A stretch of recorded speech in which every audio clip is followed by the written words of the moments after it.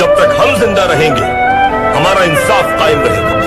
हमारी तलवारों की गरज जुल्म के अंधेरों को मिटा देगी। हमारे तीरों की सरसराहट जालिम के सीनों को आर पार कर देगी। हमारा ईमान ज़मीन को लर्जा देगा।